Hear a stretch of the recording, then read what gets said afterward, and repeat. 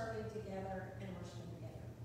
A few announcements. We are supposed to receive the fourth quarter community outreach offering today. Because we're not here to do that, we will have that collection when we return to the sanctuary. The Bible study will meet tomorrow at 5.30. You can contact the office for the Zoom code for that. Remember that we have orders for Boston butts and pork loins. The butts are $30, the loins are $35, the deadline is Monday, November the 2nd. There are forms here at the church, and you might also get one from um, calling the church office. On Wednesday night, we're having a Zoom Vesper service, which is a time we gather by Zoom. We read scripture, we may have music, we have prayer, and then we share Holy Communion. The Zoom code is published in the epistle each week, and you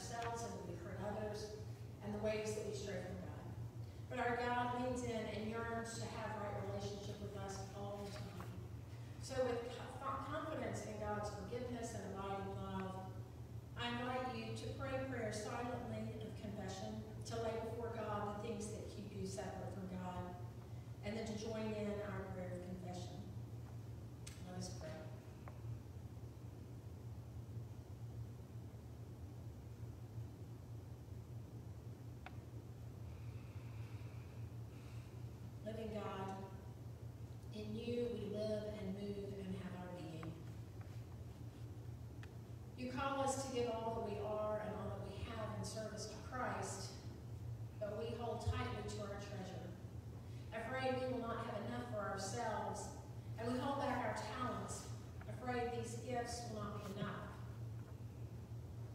God, unclench our fists and help us to give fully and freely so that all, in all things, we might serve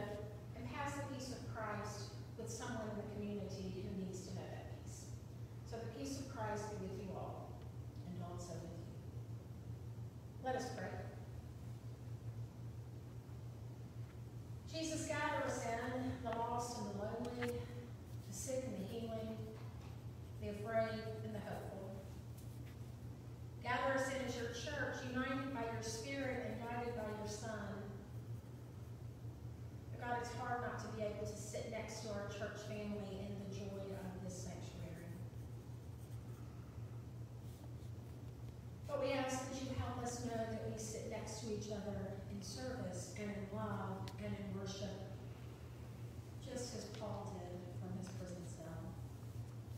Unite us, O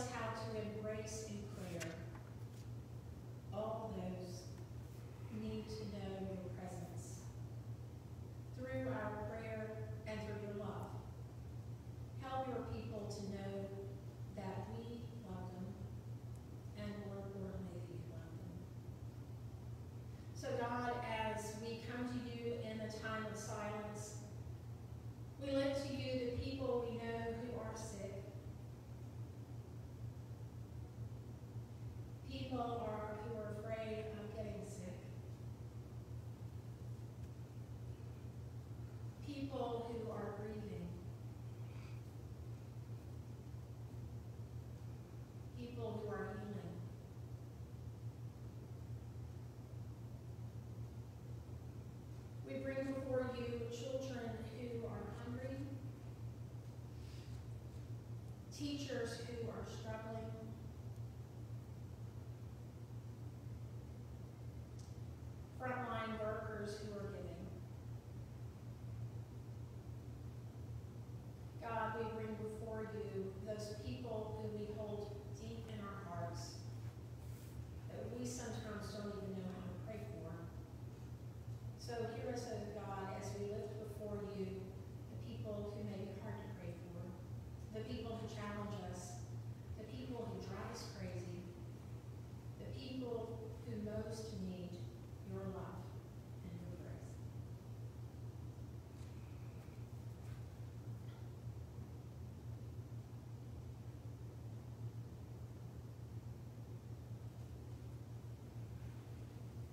we know through your word and through generations of Christians